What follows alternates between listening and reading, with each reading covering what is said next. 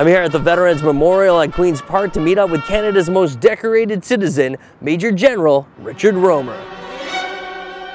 This is a picture of my Mustang fighter over the beaches of Normandy in the morning of D-Day back on June the 6th, 1944. My most memorable moment was the catching of Field Marshal Rommel. On July the 17th, 1944, I was leading a section of four Mustangs and I found this staff car, two men in the front, three in the back. I didn't know who it was. Then two Spitfires heard the, the orders. They shot up the car. The field marshal was severely injured, and so he was taken out of the war.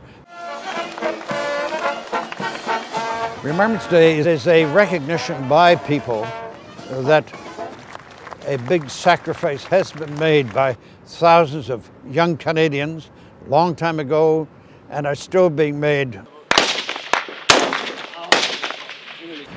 that battle, which is now finished. Afghanistan, we've had young people being brought back in their coffins. It's a recognition that when a supreme sacrifice is paid by a military person, that there is some uh, saying thank you by the citizens of the country for that sacrifice that is made.